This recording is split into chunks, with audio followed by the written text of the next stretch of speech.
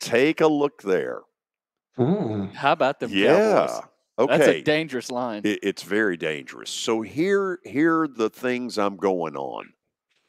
Dallas has been hearing all week, you suck after the loss to the 49ers. Specifically Dak. Right?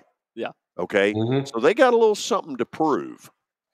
Secondly, San Diego doesn't play a lot of defense. Now, they got a great front four that includes Bosa and Khalil Mack. hmm But other than that, the Chargers don't play a ton of defense.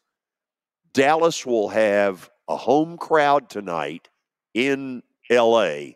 You watch. There'll be more Cowboy fans there than there will be Charger fans.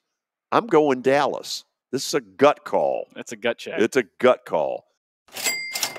The other one, look, until the Phillies lose at home, you got to take them.